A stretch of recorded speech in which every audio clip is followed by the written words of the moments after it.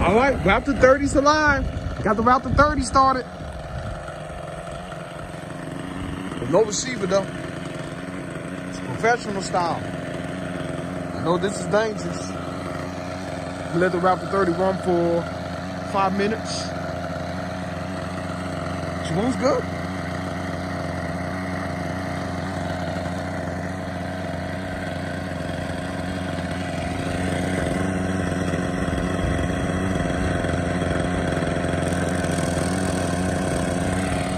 Look at this spinning. Like this.